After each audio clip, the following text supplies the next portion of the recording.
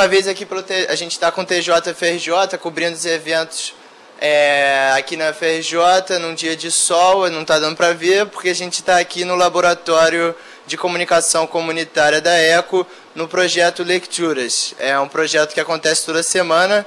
Eu estou com o aluno Gabriel Carim. É, Gabriel, é, queria que você contasse como é que você se envolveu com o projeto é, e como é que é o funcionamento dele.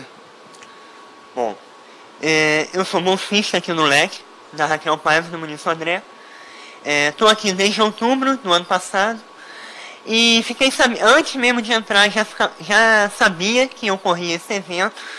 É, acho um, um projeto interessante, porque é, toda semana, uma vez por semana, a gente se reúne e debate é, textos relacionados à comunicação de um modo geral e a, a- ao conceito de comunidade em si. E até, um, até duas semanas atrás, ele é orientado pela Zilda, que não está mais aqui agora, orientado pelo João. É, e a gente estava debatendo dois livros do Municio André.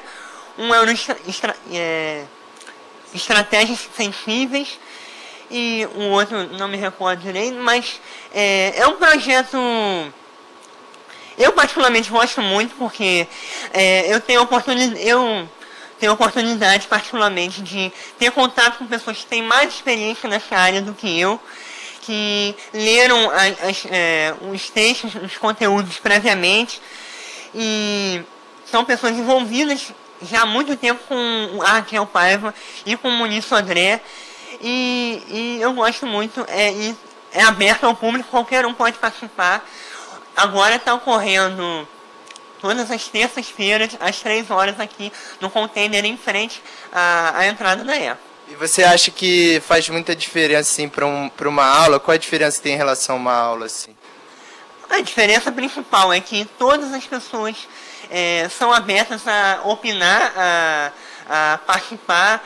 E não- por mais que tenha uma pessoa orientando, que, que lê o texto, estudou o texto, cada semana é um texto diferente, um texto a fundo, é, todo mundo está aberto à participação e a mostrar a sua opinião e a sua visão diferente do autor. Tá bom, Gabriel, obrigado. É, agora eu vou falar com o João, coordenador do projeto.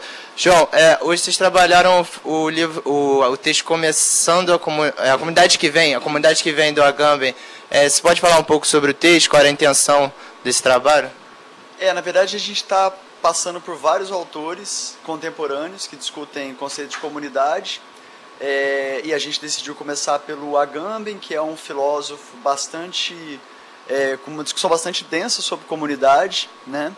É, ele traz várias questões que a gente acha pertinente para pensar é, a comunidade, a, a questão da, da comunidade é, não como essência, mas a comunidade feita a partir das pessoas que estão presentes naquela comunidade. Né?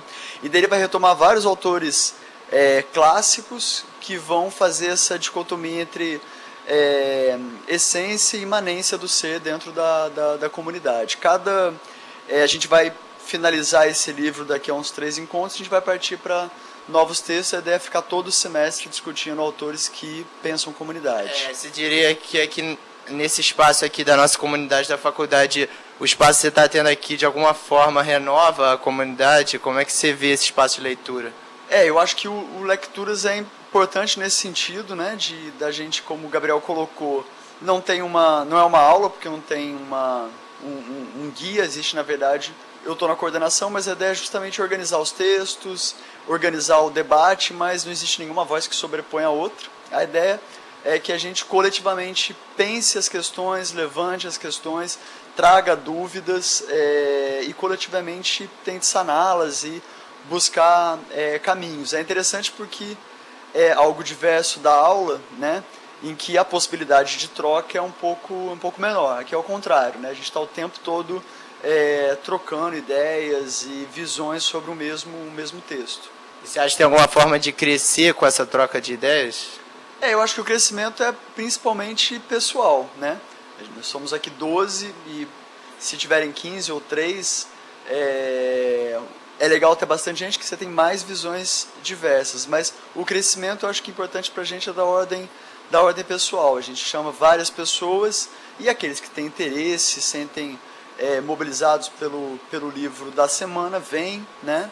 Então acho que o, a, o crescimento, a nossa proposta de crescimento é um crescimento intelectual individual mesmo, né? A partir desses encontros. Bom, incrível, muito obrigado, tá, João? Valeu. É, então é isso, gente. É, é eu sou Daniel Mendonça para o TJFRJ.